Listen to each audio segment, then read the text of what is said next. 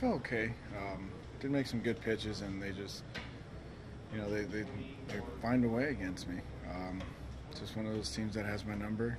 I haven't been able to figure them out. Uh, it's unfortunate, you know. I felt okay today. I thought I did make some decent pitches, and next thing I know, I'm down six runs. So it's uh, it's tough, you know. Uh, gotta just I don't know, look at some video and see what's going on, why this team has uh, so much success against me, but it is what it is. You know, I, I got to just make better pitches, I guess.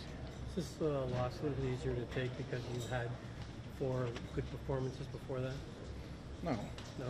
No, I could have had 10 in a row. I don't, it has nothing to do with that. It, a loss is a loss. Um, you don't want to lose to anybody. I don't care who it's against. Um, they're all meaningful games, and you know, I I know we're creeping up a little bit, and you know, we're kind of close to that second wild card spot. So losing a game like this hurts even more. Um, yeah, I don't like I said, I don't care how many games in a row I've you know I've done well. Uh, a loss is hard to take no matter what. When the team has your number like that, really no explanation. Do you ever start to look for outside the box reasons that maybe you figured something out as far as the type of pitches or something like that? Maybe. Um, if they had, you know, good for them.